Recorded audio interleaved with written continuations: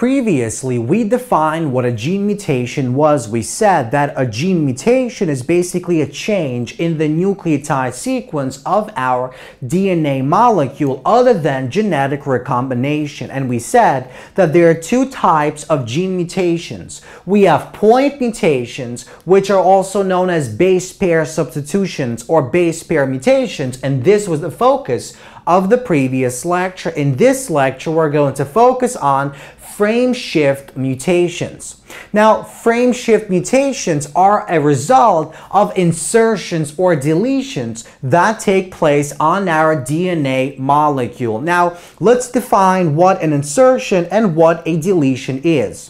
An insertion basically refers to the insertion of a nucleotide base pair or several nucleotide base pairs at some given location on our DNA molecule, while a deletion is the removal of a nucleotide pair or several nucleotide pairs at some given position on our DNA molecule. Now, as we'll see in just a moment, an insertion or a deletion may or may not shift the reading frame of our mRNA molecule. Now, what exactly is the reading frame? Well, the reading frame is the sequence of nucleotides. It's the sequence of codons that is read by the ribosome during the process of translation when we synthesize our polypeptide chain. So let's take a look at an example of an insertion that causes the shift of our reading frame and as we'll see in just a moment this is known as a frame shift mutation. So let's begin by looking at our DNA antisense strand that is used during the process of transcription. So let's suppose this is our DNA strand, the 5 end is here, the 3 end is here. So we have GCG, AGC, TAG is the nucleotide sequence on our DNA antisense strand. Now, when we actually transcribe our DNA molecule, our RNA polymerase reads beginning on the 3 end and going towards the 5 end. So that means when we synthesize the mRNA, we have to look going this way. So the complement to G is C, the complement to A is U, the complement to T is A, the complement to C is G, the complement to G is C, the complement to A is U, the complement complement to G is C, the complement to C is G, and finally our complement to G is C. So basically this is the 5 end of the mRNA and this is the 3 end of the mRNA that is produced during the process of transcription when we transcribe this DNA antisense strand. Now, once we actually synthesize the mRNA molecule, we're going to use this mRNA molecule and the ribosomes are going to translate the code, the nucleotide sequence into the amino acid sequence. And the ribosome will use the genetic code, which consists of the 64 codons. So our CUA corresponds to the amino acid leucine. The sequence GCU corresponds to the amino acid alanine, and the sequence CGC corresponds to our amino acid arginine. So let's suppose as a result of some type of outside factor, we have an insertion taking place. So we have a mutation known as insertion. So basically, let's suppose between the seventh and the eighth nucleotide on the DNA antisense strand, we insert our cytosine nucleotide. So now our DNA strand consists of 10 nucleotides and not 9. So we have the mutated DNA antisense strand. We have GCG, AGC, TC, AG, where this is the cytosine that has been inserted between the seventh and the, uh, and the eighth DNA nucleotide. So let's see what kind of polypeptide sequence of amino acids we're actually going to form. So when this molecule is transcribed, we form this mutated mRNA molecule. The reason it's mutated is because it contains this guanine between the second and the third amino uh, and the third nucleotide. So the G becomes a C, the complement of A is our U, the C becomes a G, the T becomes an A, C becomes a G, G becomes a C, the A becomes a U, and so forth. So this is the 5 end, this is our 3 end. Now, when our ribosome reads this mutated mRNA strand, it will use the genetic code, but now, because we have a shift in the reading frame, what will happen is the codons will change. So the first codon in this case is CUA. The first codon in this case is CUG. But because CUA and CUG basically uh, code for the same exact amino acid leucine, the first amino acid is not changed. But look what happens to the next. Because we insert this single nucleotide into our sequence, it shifts all the other nucleotides and that changes the codons that are read by the ribosome. So in this case, the second codon was GCU. In this case, because we had a shift in the reading frame, the second codon is AGC, which is different than GCU. Then this one is CGC, but in this case, the third codon is UCG. Now, CUG still codes for leucine, but AGC codes for serine, and UCG codes for serine once again. So these two codons code for the same exact amino acid, and notice that this or this for that matter, is different than the sequence given here. We have serine and serine, and we have alanine and arginine.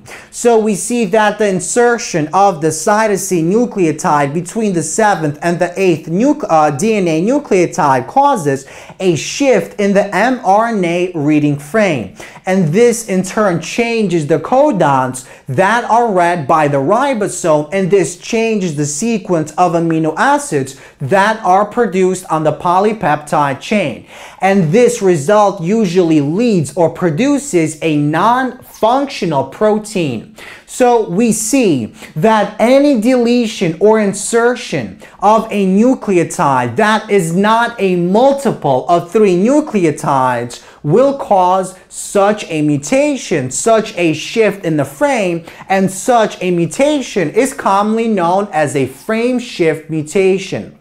So we see that a frame shift mutation is caused when we have either an insertion or a deletion of a nucleotide or nucleotides that are not a multiple of three. But what exactly happens if the insertion or deletion occurs in a multiple of three? So let's suppose, let's consider what happens when we insert a three nucleotide sequence into this DNA antisense strand. Let's see what the end result will be. So let's begin with this DNA anti-strand once again. So we have the GCG, AGC, TAG, uh, 5 to 3 DNA anti-strand. If we transcribe this, we produce this same mRNA. And when we translate the, uh, the mRNA, we produce once again the leucine, alanine, arginine nucleotide uh, amino acid sequence.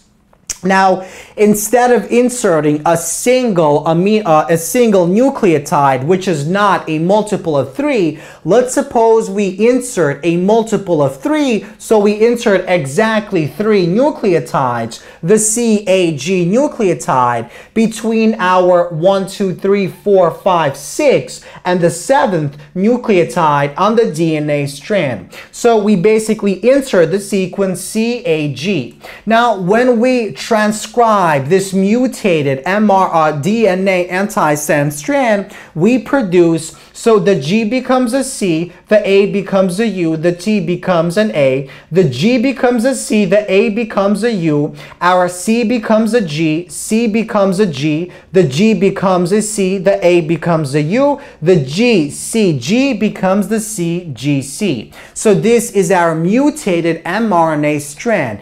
And when we actually use the ribosome and the genetic code to translate this mutated mRNA strand, we produce the following result.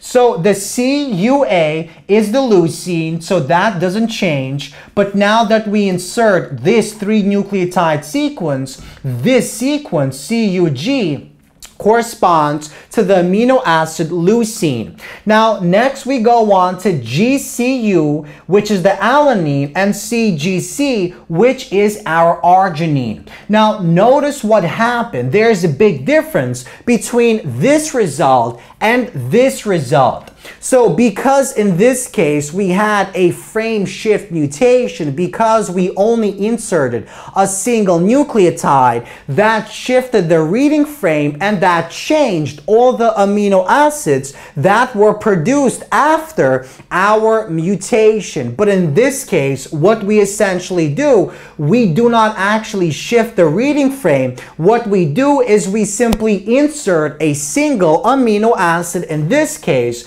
but all the amino acids that are produced after the inserted amino acid are exactly the same as before.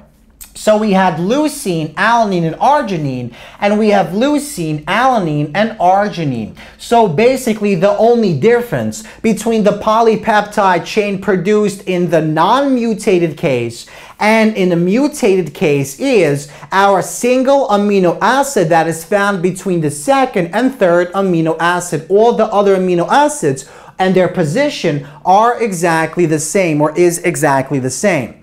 So whenever an insertion or a deletion takes place in multiples of three, this does not lead to a shift in the reading frame and such mutations are known as non-frame shift mutations because all the amino acids that would be produced if there was no mutation are still produced. And this usually leads to either a fully functional protein or a partially functional protein. And if we compare it to the frame shift mutation, that usually leads to a non-functional protein. So basically, insertions or deletions do cause frame shift mutations, but not always. Sometimes they can cause non-frame shift mutations, and those basically mean that we do not shift the reading frame of the mRNA molecule, the reading frame that is used by our ribosome. What we basically do is we insert or we delete one or more amino acids, but all the other amino acids basically remain exactly the same. So to conclude, we have two main types of mutations. We have point mutations, which are basically mutations on a single nucleotide, and these are also known as base pair substitutions or base pair mutations. Now, we also have frame shift mutations, and frame shift mutations are caused by insertions or deletions. But even though insertions and deletions cause frame shift mutations, sometimes they can also cause non-frame shift mutations.